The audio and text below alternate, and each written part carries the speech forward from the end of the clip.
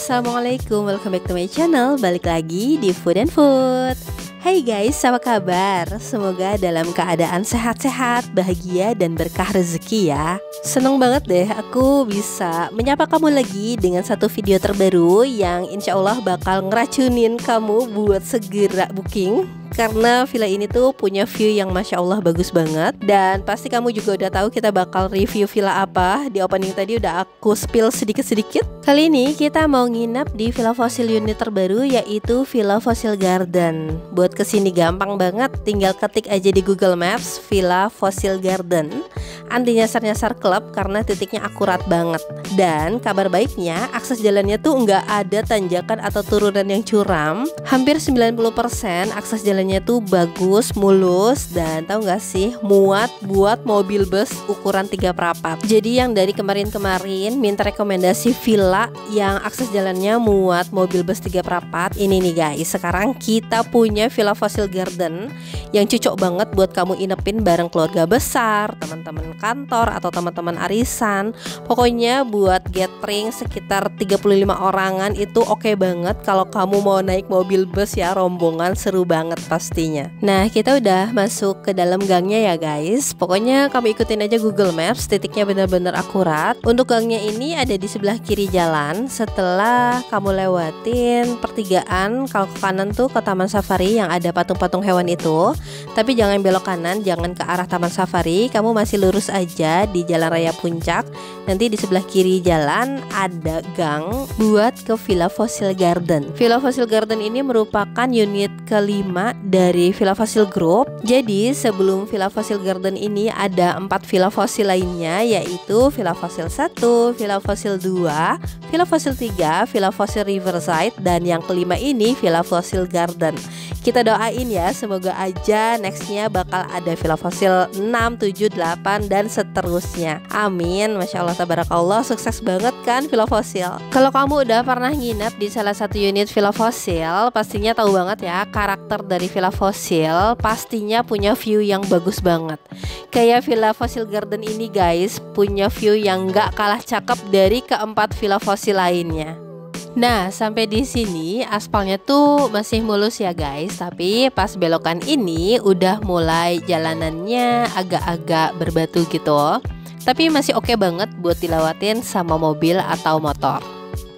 Dan guys, kita udah sampai nih di Villa Fossil Garden. Ada di sebelah kanan jalan ya. Villa ini terpantau CCTV 24 jam dan untuk masuk kamu tinggal pencet bel aja nanti bakal dibukain pintu gerbangnya sama penjaga villa. Jam check-in di jam 2 siang dan jam check-out di jam 12 siang hari berikutnya. Di depan sini ada pos security dan villa ini juga terpantau CCTV 24 jam. Villa Fossil Garden juga merupakan villa syariah dengan halaman yang luas banget, ada private pool, ada gazebo, ada dua pintu masuk di bagian depan dan di bagian samping. Sekarang kita lewat bagian depan aja ya. Parkirannya cukup luas ya guys. Ada parkiran mobil dan parkiran motor di dalam garasi. Ini pintu depannya. Di sini ada kursi buat duduk-duduk santai sambil nikmatin view Gunung Gede Pangrango. Sayangnya pas kita datang lagi hujan, jadi Gunung Gede Pangrangonya nggak terlalu kelihatan. Pas baru masuk, di sini ada ruang tamu. Ruang tamunya cukup luas ya guys. Jadi enak banget nih buat kumpul bareng sama keluarga. Kalau mau makan bareng lesehan juga enak banget di sini. Terus kita masuk lagi. Di sini ada living room living roomnya tuh luas banget. Ada sofa sofanya nyaman banget bisa jadi buat tempat tidur juga. Living room ini juga mencakup sebagai ruang karaoke karena di sini ada fasilitas karaoke set yang bisa kamu nikmati secara gratis. Ada smart TV juga bisa nonton YouTube atau Netflix sepuasnya. Wifi di sini juga kenceng banget guys. Jadi nggak usah khawatir ya kalau kamu masih harus kerja pada saat staycation di sini Villa Fossil Garden punya 4 kamar tidur dan kapasitas maksimalnya sampai 35 orang. Kalau nginep di Villa Fossil rasanya tuh nggak lengkap kalau nggak pesan cateringnya. Cuma 100 ribuan aja per orang, dapat tiga kali makan dan satu kali snack. Kalau kamu pesan catering di sini, pas check-in udah tersedia makanan yang enak-enak banget guys. Menunya bener-bener nggak pernah gagal. Di sini kita pesan paket nasi liwet, ada ayam bakar, gado-gado, pepes tahu plus jamurnya enak banget teri, lalapan, semuanya serba enak guys. Kita juga dapat welcome drink berupa teh hangat, terus ada snacksnya kacang rebus. Ya ampun, bener-bener ya kita udah capek di perjalanan sampai sini langsung makan. Gimana nggak enak coba? Ada wastafel di depan kamar mandi dan ada satu kamar mandi sharing yang lokasinya tuh ada di living room. Untuk kamar mandinya pastinya dilengkapi dengan fasilitas water heater, ada sabun dan shampoo. Tapi untuk dental kit dan handuk bawa sendiri ya dari rumah.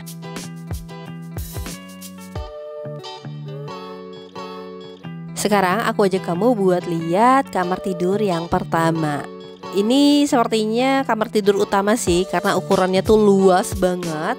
Ada satu lemari berukuran cukup besar buat nyimpan barang bawaan kamu. Terus di sini ada dua tempat tidur berukuran queen, lengkap dengan selimut, bantal, dan guling. Jarang-jarang kan ada villa yang nyediain guling. Sebenarnya udara di sini tuh udah cukup dingin guys, tapi tetap ya disediain AC portable dan di sini juga ada meja rias.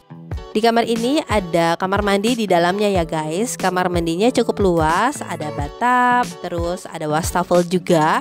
Pastinya dilengkapi dengan fasilitas water heater, sabun, dan shampoo. Untuk dental kit dan handuk bawa sendiri dari rumah. Lanjut yuk, kita ngintip kamar yang kedua. Kamar 1 dan 2 ini lokasinya sebelahan ya guys Jadi deket-deketan Sama-sama ada kamar mandi di dalamnya dan ada fasilitas bathtub Kamar yang kedua juga dilengkapi dengan dua tempat tidur berukuran queen, ada AC portable, terus ada rak penyimpanan, hanger, dan ada cermin.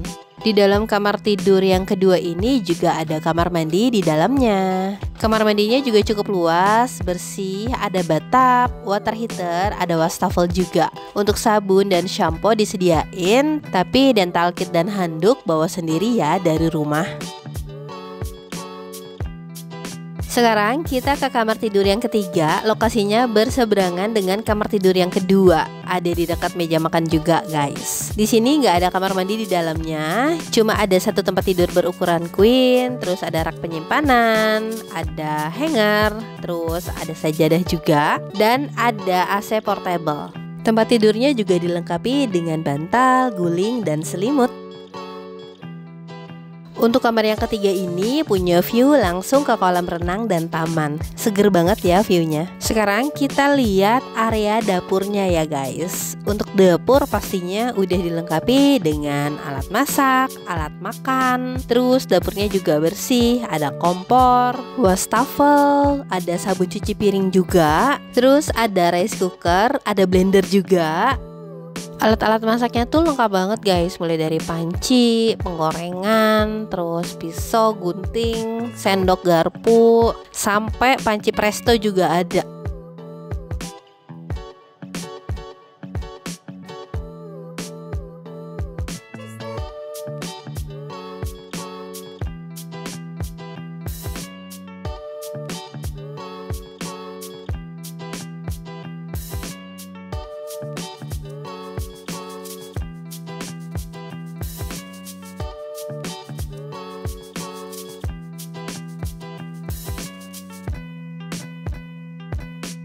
Sekarang kita lihat kamar yang terakhir yaitu kamar yang keempat. Lokasinya ada di belakang. Di sebelah kiri ada dapur kotor dan di sini juga ada free 8 extra bed. Ada meja makan tambahan. Untuk extra bed udah dilengkapi dengan bantal dan selimut. Nah, ini guys kamar yang keempat. Di dalam kamarnya cuma ada satu tempat tidur berukuran queen lengkap dengan selimut, bantal, dan bantal guling. Nah, di sini ada dapur kotor. Jadi kalau misalkan mau cuci-cuci perabotan yang gede-gede gitu kayak panci, kamu bisa di dapur kotor ini. Jadi rumah penjaga villanya ada di belakang villa ini. Gak usah khawatir. Insya Allah keamanannya terjaga 24 jam. Sambil nunggu jam makan malam, kita bisa karaokean atau nobar film favorit dulu. Pas kita nginep tuh hujan gak berhenti-berhenti guys. Dari check-in sampai malam Ini bener-bener awet banget hujannya suasananya makin dingin, makin syahdu dan makin pengen cepet-cepet tidur sebenarnya. Tapi agak-agak penasaran sih sama view pas udah nggak hujannya karena katanya view dari Bukit Damar tuh bagus banget. Nanti setelah makan malam aku tunjukin view malam hari di luar sini. Ini menu makan malam kita guys. Di sini kita pesan paket nasi bakar, ada tumis oncom pakai lenca, ada cumi-cumi.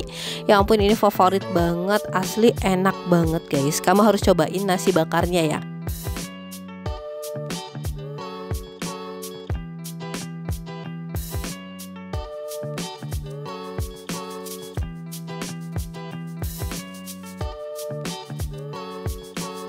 Untung banget aku nggak langsung tidur karena makin malam viewnya makin cakep lihat dong guys. Ada city light, lampu-lampu dari Bukit Damar tuh cakep banget ya kalau malam hari. Lihat dong guys. Ditambah sama cahaya-cahaya lampu yang ada di taman. Kalau nggak hujan sih enak banget kayaknya ngumpul-ngumpul di area sekitar kolam renang atau gazebo.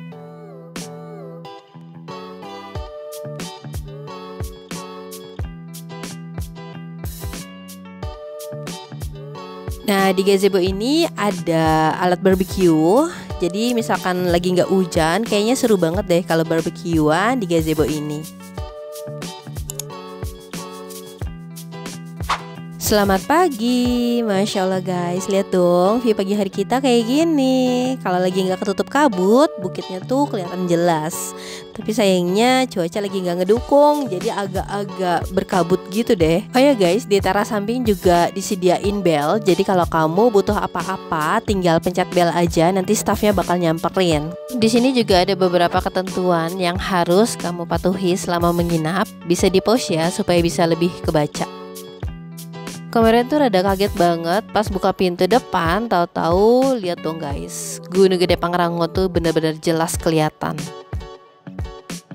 Dan kerennya catering di sini tuh bener-bener on time guys. Ini jam 6 aja kita udah ditanyain gitu mau sarapan jam berapa karena udah datang cateringnya. Kita request di jam 7 pagi. Staff villanya tuh nyediain sarapan di area gazebo. Asik banget guys sarapan di sini sambil nikmatin view kolam renang dan Bukit Damar.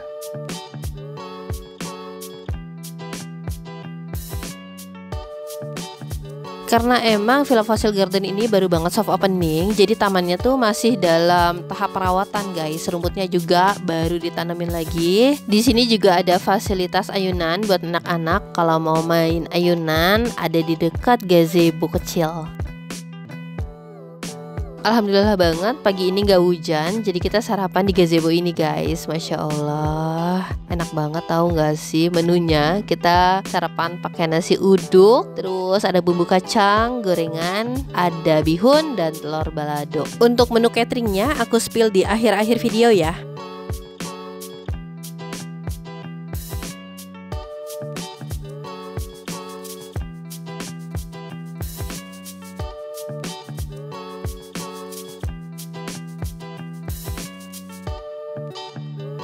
Untuk kedalaman kolam renang mulai dari 80 cm sampai 150 cm.